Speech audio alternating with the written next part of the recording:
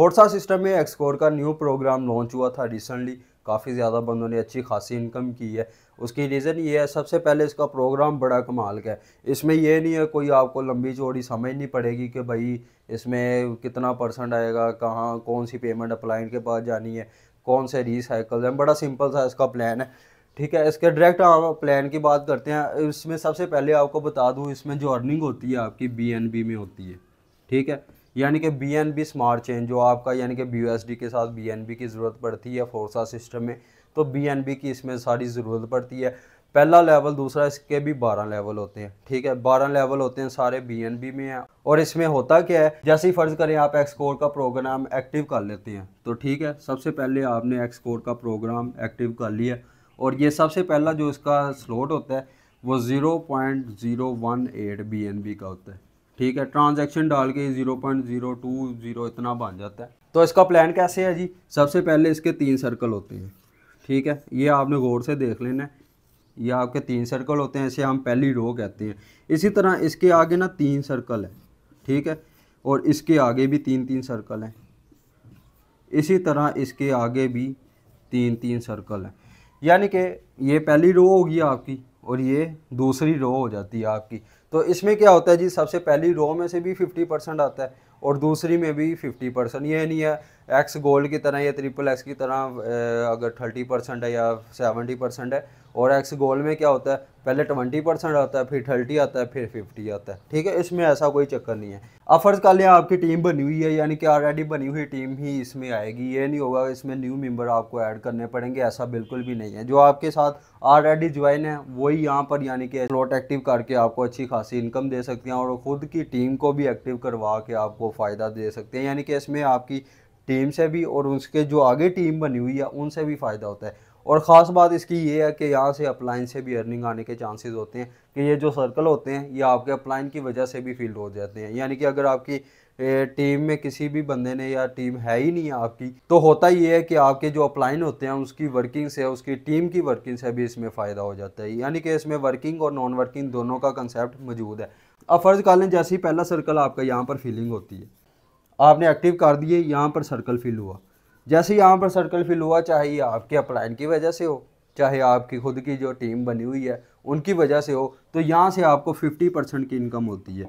ठीक है? ये पूरी रो से आपको 50 परसेंट और इसी तरह इसमें से भी 50 परसेंट ये कितने बी एन बी का है जी? 18 बी का ये स्लॉट है तो इसमें 50 परसेंट ये 0.009 बन जाता है। यानी कि आपका पहला जो मेंबर होता है, यहाँ से 0.009 की इनकम आपके पास हो जाती है। इसी तरह दूसरा सर्कल आपका फील होता है।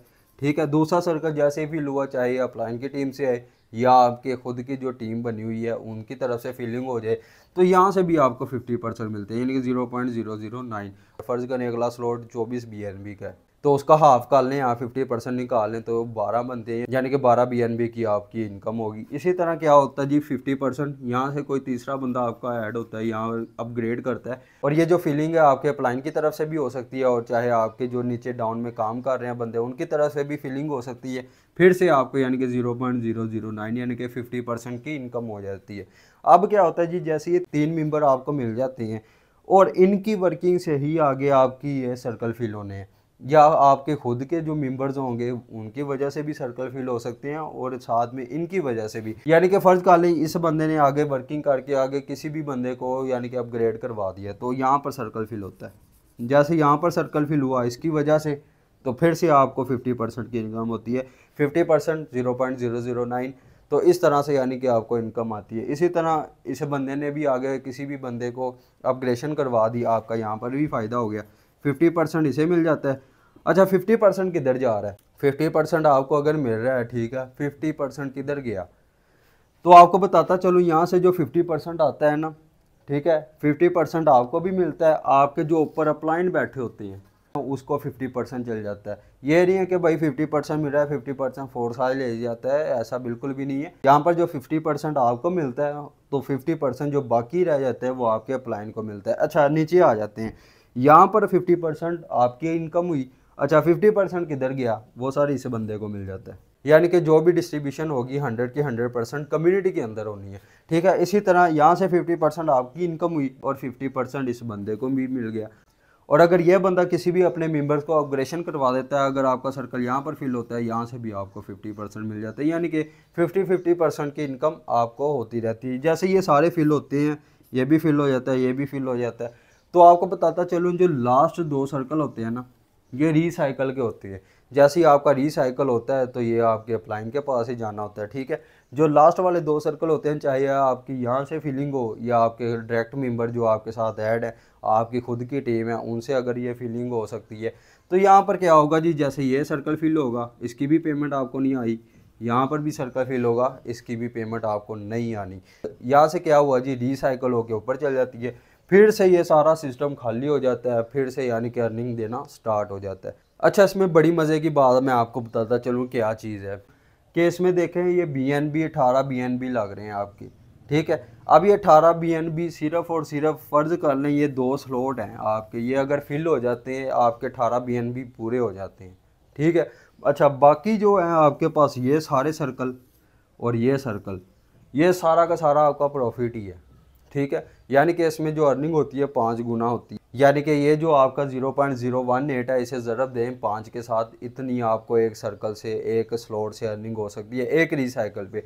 जैसे ये रिसाइकल हुआ रिसाइकल होके सारा खाली हो जाता है, फिर से आपकी अर्निंग देना स्टार्ट कर देता है। इसी तरह यानी कि एक रिसाइकल पे पाँच गुना इनकम होती है। फ़र्ज़ कर लीजिए बी एन बी पाँच डॉलर बनते हैं तो आपका एक जो रिसाइकल होगा बी एन बी में तो ये आपका तकरीबन 25 डॉलर की इनकम दे सकता है। और इसी तरह ये रीसाइकल होगा और फिर से इनकम देना स्टार्ट कर देगा। और इसी तरह इसके आगे स्लॉट होते हैं, आगे इसके लेवल्स होते हैं, अगर आप उन्हें भी परचेज़ कर लेते हैं। उधर भी आपकी कोई टीम मेंबर से कोई अपग्रेशन कर देता है, डेफिनेटली उधर भी 50 परसेंट इनकम होती है। मेन मकसद इसमें यही है कि आपके अगर दो सर्कल फिल हो जाते हैं तो आपकी इन्वेस्टमेंट पूरी हो जाती है सर्कल की स्लॉट की। ठीक है, इसी तरह बाकी जो सर्कल आपके फिल होते हैं, वो आपका प्रॉफिट ही होता है। तो इस तरह से हमारा जो एक्सकोर का प्रोग्राम है, ये वर्क करता है। आपको मिनिमम अगर आप इसमें स्लॉट बाय कर लें ना तो आप चार से पाँच छः कर लें ताकि अच्छी इनकम हो सके आपको, ठीक है? अगर आपकी टीम मौजूद है तो तब भी आपका फ़ायदा हो सकता है, वो तो होना ही होना है। लेकिन यहाँ से जो अर्निंग होती है, आपके अपलाइन की टीम से भी आ जाती है। तो उम्मीद करता हूँ, आपका समझ आ गई होगी कि एक्सकोर का कैसे वर्क करता है। इन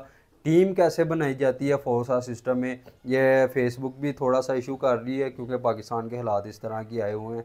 कि फेसबुक भी नहीं चल रही सही तरह से और काफ़ी सोशल मीडिया नहीं चल रहे ठीक है जिसकी वजह से इंशाल्लाह जो टीम कैसे बनाई जाती है व्हाट्सअप के ज़रिए फेसबुक के इंस्टाग्राम के यानी कि सबसे किस तरह से टीम बनाई जाती है इंशाल्लाह ये नेक्स्ट वीडियो में आपको मिल जाएगी जैसे ही यानी कि फेसबुक वगैरह ओपन होती है या व्हाट्सअप ओपन होती है या अदर जो प्लेटफॉर्म है वो अगर ओपन हो जाते हैं तो इंशाल्लाह बहुत जल्द आपको ये वीडियो भी मिल जाएगी तो इंशाल्लाह मिलते हैं जी नेक्स्ट वीडियो में तब तक के लिए अल्लाह हाफिज़